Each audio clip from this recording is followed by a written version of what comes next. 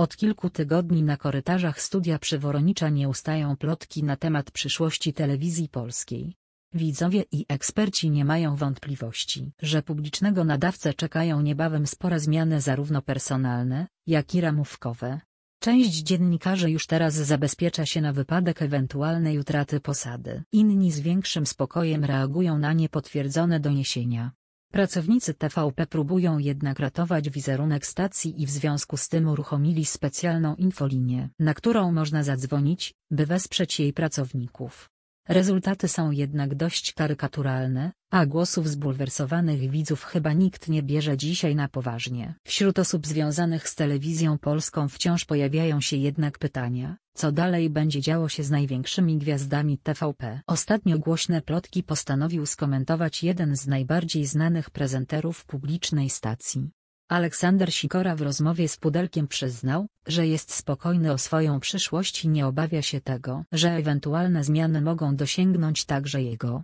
Zmiany pewnie będą, ponieważ politycy ja szeroko zapowiadają, ale czy one mnie dotkną? Kompletnie mnie to nie obchodzi.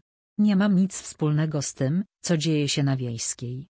Ja pracuję na Woronicza w telewizji polskiej, powiedział gospodarz Sylwestra Marzeń. Słynny prezenter nie obawia się zwolnienia, bowiem jak zauważa, on zajmuje się w swojej pracy jedynie rozrywką i nie komentuje bieżących wydarzeń społecznych. To telewizja publiczna, ale ja nie zajmuję się publicystyką, nie zajmuję się polityką. Ja zajmuję się rozrywką, ocenił w rozmowie z serwisem. Czy to jednak rzeczywiście wystarczy, by utrzymać swoją posadę podczas rewolucji, jaka zapewne czeka TVP? Czas pokaże.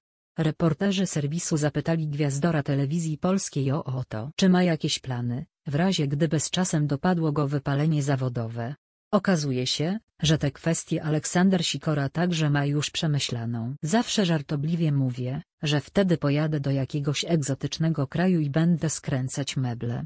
A tak naprawdę, plan B pojawi się wtedy. Jeśli zakończy się plan A, przyznał z rozbrajającą szczerością.